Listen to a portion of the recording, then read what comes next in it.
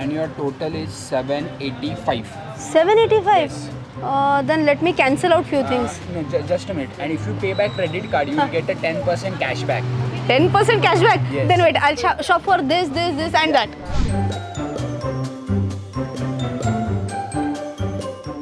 how much is this for 24, uh, 23,000 ma'am. 23000 Yeah.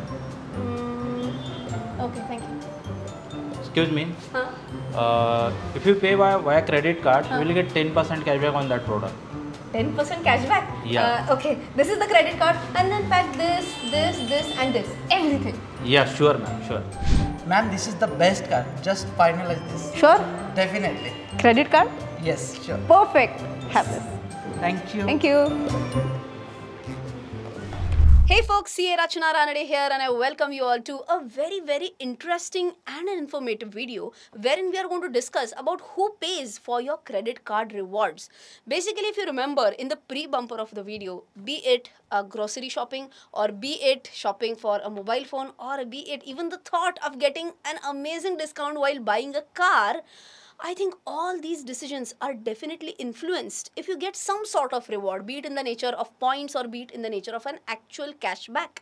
So I think it's really important for us to analyze as to someone is bearing for those rewards or cashback. Who is it? Is it me who is bearing for the rewards? Is it the shopkeeper who is bearing for the rewards? Or is it the brand or someone else who is bearing for it? So, in this video, we are going to discuss and decode everything about credit card rewards. Well, now, first of all, let's try and understand what are the different types of rewards that these credit card companies offer. There are two major types of rewards. The very first one is cashback, and the second point is like a point based reward system. Okay, so let's understand one by one. The very first one is what? Cashback. So let's take a simple case study scenario. Here we have Mr. A, and Mr. A is wanting to go for shopping in this shop. So what would Mr. A do? Mr. A goes for shopping, let's say shops for 10,000 rupees, okay, and for these 10,000 rupees, he's of course going to pay. Assume that he's paying by credit card. Now, because this person is paying by credit card, exactly, he will get a cashback. Now, how much cashback and all that?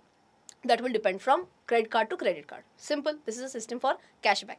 Let's go on to the second one, which is like a point based reward system. So let's continue with the same example of this person, Mr. A, spending via a credit card, but instead of getting a cashback, the person gets rewards. Now, these rewards, there'll be again some ratio that every 100 rupees spent will give you X number of rewards. For 100 rupees spent, you'll get, get let's say, two rewards, two points. Okay.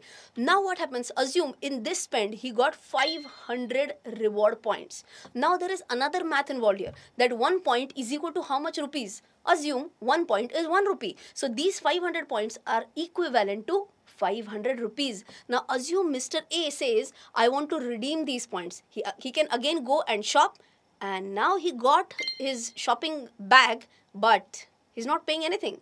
What happened to the points? Points were redeemed and that's how he was able to fund his shopping through the points that he had earned on the earlier purchases. So I hope you have understood both these ways of getting rewards through credit card companies. But then, is there any other way to get rewarded? Is what we are going to check out in the next section of the video.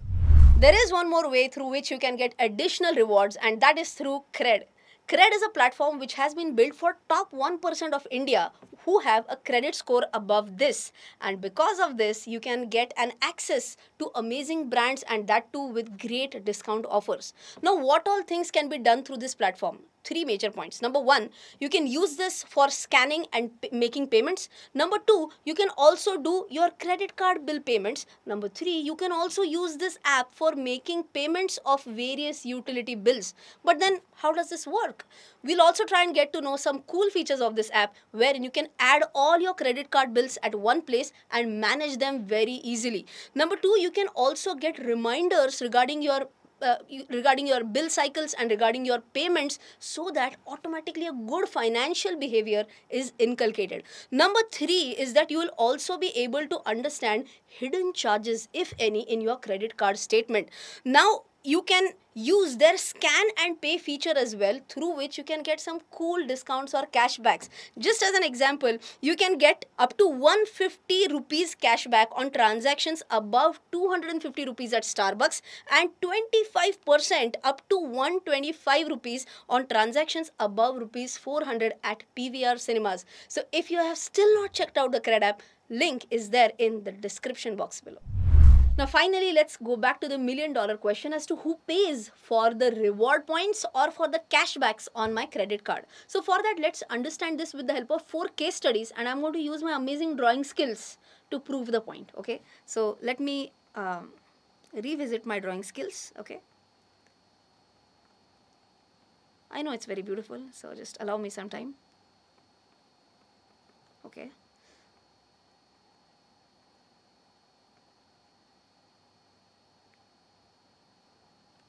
Yes. What's happening? What is this? Any guesses? What is this? What's happening? What is it? School. School. काय कळत नाहीये पण बहुतेक झोपडी सारखं काहीतरी वाटत झोपडी my god it's very uh, such a basic thing man it's a restaurant it's a beautiful restaurant and this person is enjoying his meal कसं व्हायचं तुमच्या सगळ्यांचं काय माहिती okay anyways so now what has happened is that this person has just enjoyed his meal and with the help of his credit card he has paid the bill of his restaurant and now can you see an amazing smile on his smile थोडी जास्ती झाली एक मिनटं again let's draw the smile nicely and this is the credit card okay so is is happy person is very happy why because he has gotten a cashback on his credit card okay now he's he is thinking who paid for the cashback? He got a 10% cashback agreed but who actually paid for it? Was it the restaurant who paid for it? Was it the credit card company who paid for it? Who was it? Now for that you have to know certain additional facts. Let's say that this was a newly opened restaurant and they wanted more and more people to know about this and that was the reason why they tied up with this credit card company and said that if people if the customers use your credit card we are willing to offer an additional discount and uh, additional cashback. So think logically who will be bearing the cost of this cashback? Will it be the restaurant who is trying to acquire new customers or will it be the credit card company? It's a no brainer ideally it has to be the restaurant. So if you ask me my logic is that 100% of the reward will be borne by the restaurant if they have a good bargaining power it can be something like a 90% restaurant and a, a, a 10% cost which will be borne by the by the credit card company 80 20 whatever. But ideally it could be up to 100% which will be borne by the restaurant. I hope the first point is clear. And now please improve your imagination skills okay? I'm going to draw for the second case study as well. Moving ahead with case study number 2 and please now improve your analytical skills okay? My my drawing is the best so let's understand what is this now.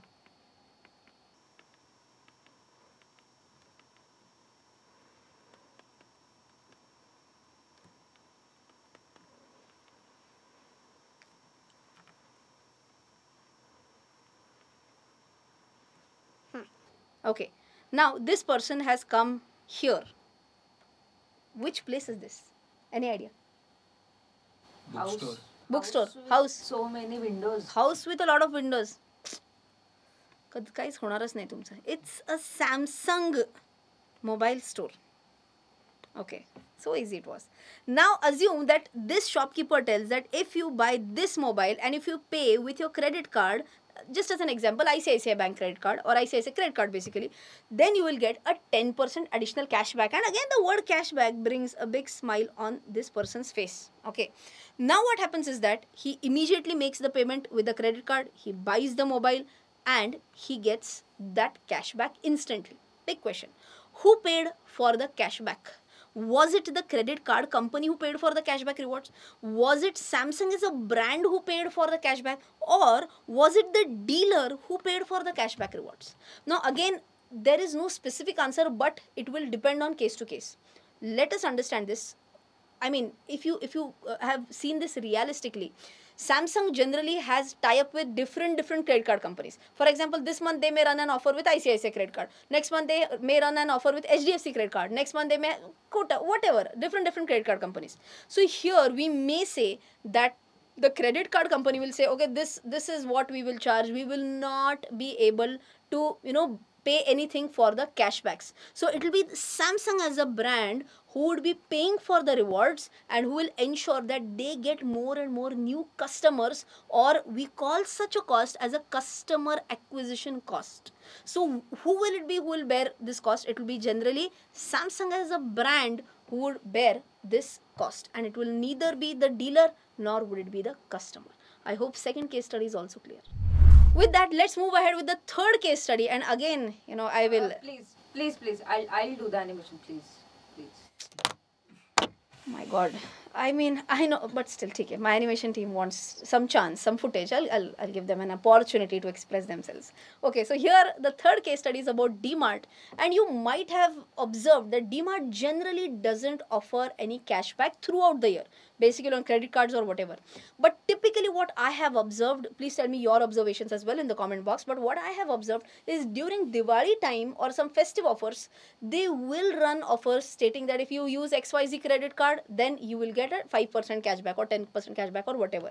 Now why would this strategy be used by dmart possibility is that they know that a lot of customers keep on coming to their store but when it is diwali there is a possibility that a lot of people already have a lot of time in hand they might go and search for other offers during this time frame there would be some other online giants as well who might give some additional rewards and discounts as well so they want to retain their customers so it's not more about customer acquisition it's more about customer retention so again if assume dmart ties up with ICICI credit card or HDFC credit card or with any other credit card company then who will bear the cost ideally logically again it will be dmart who will be bearing this cost and this will be not a cost of customer acquisition but ideally it should be a cost of customer retention. Whatever case studies we talked till now all three case studies till now who was benefiting? They were the customers. Moving ahead with the final case study which is about a, a case where there may be a long term relationship, a long term or a strategic partnership between two big brands. Uh, why is this case study different? Because if you have analyzed first three case studies, in the restaurant case, the restaurant was a newly opened one, and that is why they didn't have the pricing power or the bargaining power per se. In the second and third case, in case of Samsung and DMart, they too were big brands, but in both these cases, we bifurcated it, wherein Samsung was more interested of customer acquisition in our example obviously. And in our example dmart was more about customer retention.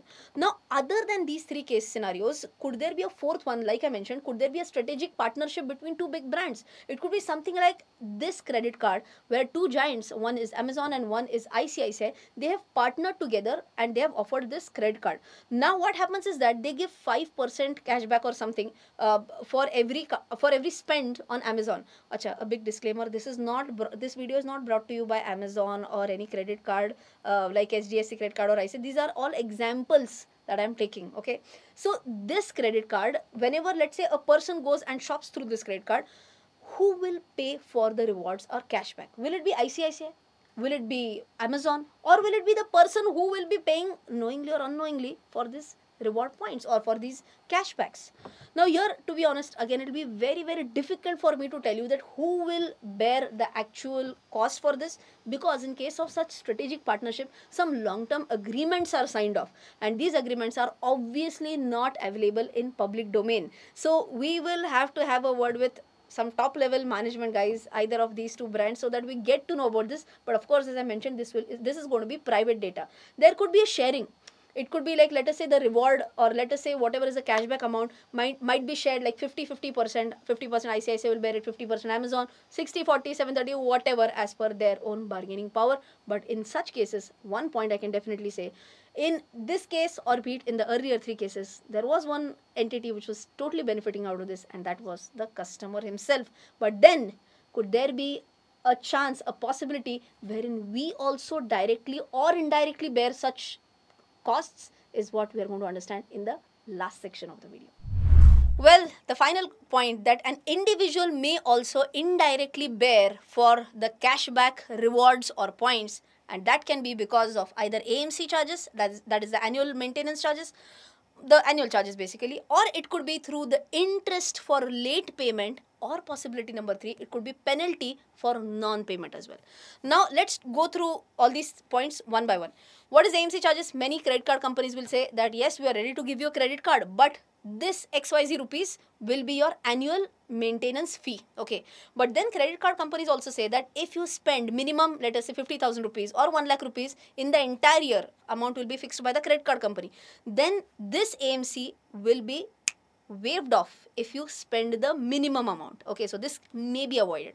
Number two, there could be people who always pay only the minimum amount due on the credit card. If that is done, then an interest is levied by the credit card company to the person, and this is how this person, I mean, any person would keep on funding the credit card company, and through these funds only, credit card companies can give you rewards, right? So, this is not a good practice to do so. So, always remember pay your full amount of credit card due and if you do that interest penalty or interest payment will also be gone.